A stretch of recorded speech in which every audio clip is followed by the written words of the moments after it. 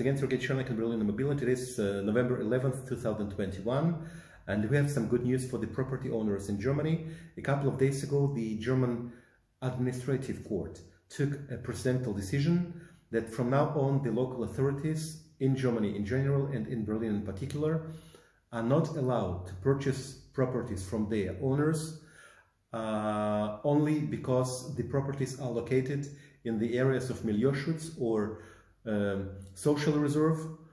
Uh, to buy such properties, the authorities need to prove that the properties allocated in the uh, uh, that are located in the areas of the social reserve uh, have legal or technical uh, problems.